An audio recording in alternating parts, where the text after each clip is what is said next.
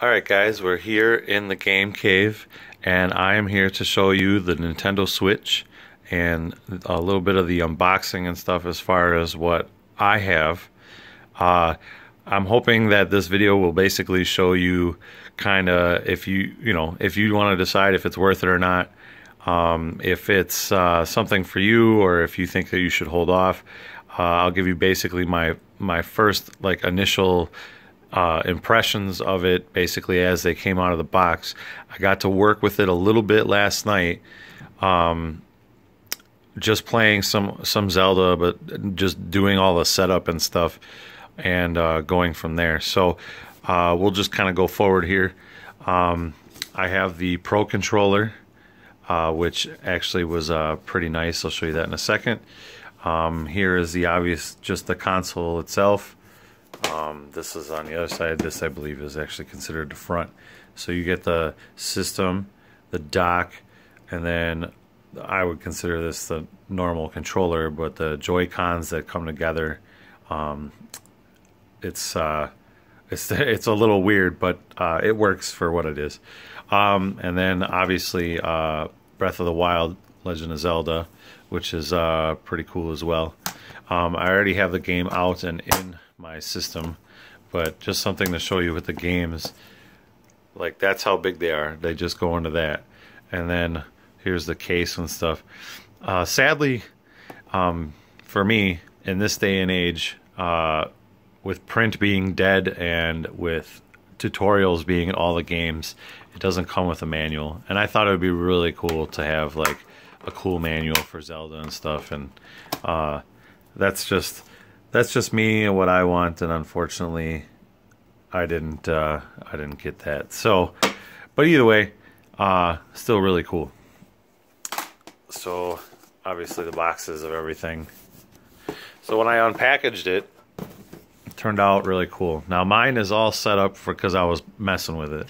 So here we have the Joy-Con um, controller that like connects it all together so the two um, the two Joy-Con switches basically uh, go in here. If I could do this with one hand. So there's one on one side. Let's do this real quick. I apologize for the camera, but I'll show everything going together. So everything goes together like so.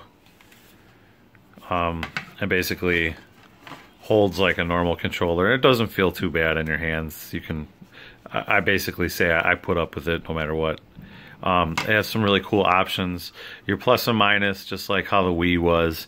Uh, this is the D-pad here, joystick. This button is actually taking uh, for taking snapshots or screenshots of your any any games that you're playing. The home button, just like on the Wii, takes you to the main menus, and then your normal buttons up here, another joystick on the side. You also have your top uh, the RZs and R and Ls and stuff like that. And um, these are the buttons here that allow you to remove the um, joy the Joy Cons from each thing. So it also comes with a this is like basically the top buttons for like a single uh, Joy-Con and it goes uh, one way is a plus side and one way is a negative side depending on which side you're using. So um, that's basically like your top L and R button when you put it on. Um, some interesting note, if you will put up with me for a second. Uh, I'm going to separate this. I need two hands. And I'm going to put this on Excuse me. This is how big this thing is together. Now it's kind of weird. Like, look how big it is, like in my hand. And if I could, if I wasn't holding a phone, I could pop the other side in. Uh, these things are pretty tiny, but if you're playing just like little games, I could see that uh, being normal. And it goes into one big controller, like here. So it allows you to have like a two-player thing with two of these, which is kind of unique. Um, but at the same time, uh, if you want a better gaming experience, and you right off the bat you get this thing uh, together, it, it allows for you to uh, to play games a lot easier, especially if you got bigger hands and stuff. So uh, I'm going to move to the Pro Controller. The Pro Controller is really nice. Uh, I would say it fits really nice in your hand, feels really good. It feels like uh, what a Nintendo controller should be. Um, it it it's really smooth in your hands. It feels uh, pretty good.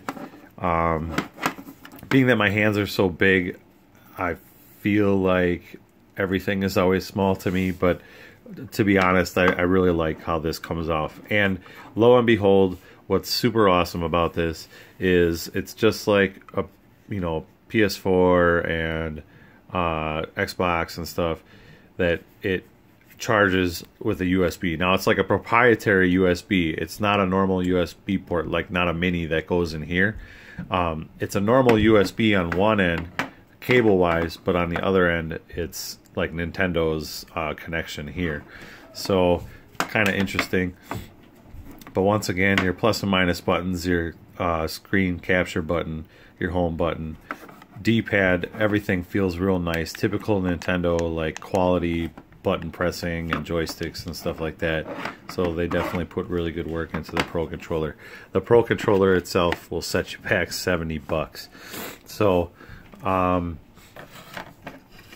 uh, here's the system itself, the dock and the and the tablet basically. So you get a, a power supply um, comes with an HDMI cable.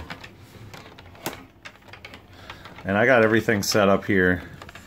I'll just show you how it sets up. So there's like a little door. Okay, and everything plugs in. So there's your, uh, if I can read it right, we got the AC adapter on top, USB in the middle, normal USB end on this side, and then the HDMI cable that runs across here. It really is kind of unique unique and amazing to have like everything in this dock and then just the tablet. So now the tablet comes out and it feels really nice. You're you would be surprised when you pick it up. Like honestly, you're kind of surprised when you open the box and how small it is. But at the same time, it's big, especially when you put the Joy Cons on. So just to kind of show you how everything goes, if I could put an angle in there, but there's like a little spot if I can get the flashlight on there. That's where it hooks up on the bottom. Uh, and it's kind of a really cool um, contraption of how that goes together and hooks into the bottom of here. So uh, let me throw this together and kind of turn it on for you. Give me a minute.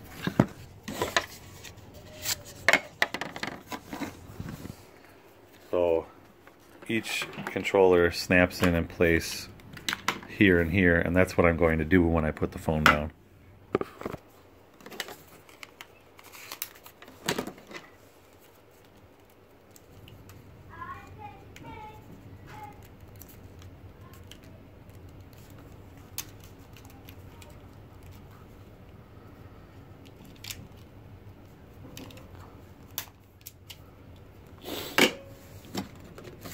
Bear with me, I apologize. Okay, so here it is all together.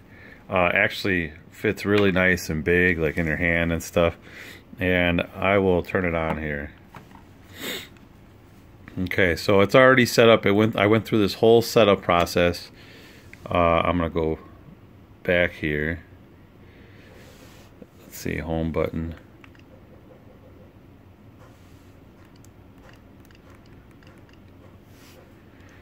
Back.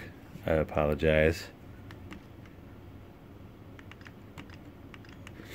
Okay, it says do it three times. So this is basically like the main screen. Now I changed my theme. It starts off as white. Everything's white, but I made it black because it's easier to see. And I can pick Zelda and pick my profile as I play. I'll just kind of show you everything starting up here. I don't want to make the video too long. You know, 10 minutes is probably going to be enough and everything feels excellent uh, in your hands. Um, this is the first time I would be messing with it portably right now, but like everything feels built really well, and even even in your hands. Okay, my camera kind of doesn't do this justice right now, but it looks like really cool, like up close. Um, even though they were talking about some performance issues when you go to portable, and uh, I don't know. I, I think I think it's pretty neat uh, as well. The only thing I'm looking at for kids wise or whatever, uh, I just got to make sure I make sure that my kids know what to do, how to take care of it, not to mess it up, that sort of thing. Um, but then again, what things do you have that uh, you don't have to do that with? So, um, so really cool. And when it goes back in the dock, it's literally just slides right in. Boom, it connects super easy. And if it was connected to my TV, boom, it just popped right up. So, uh, I just want to thank you again for taking a peek at the Nintendo Switch with me. Um, I hope that this kind of helps a little out of the box right away. I played Zelda for a little bit and I thought it was pretty neat, but I didn't. I just barely scratched the surface. So once again, that's the Nintendo Switch here in the Game Cave with a quick little review. Thank you for your time, and I hope this finds you well. You guys have a great day, and good luck finding your own.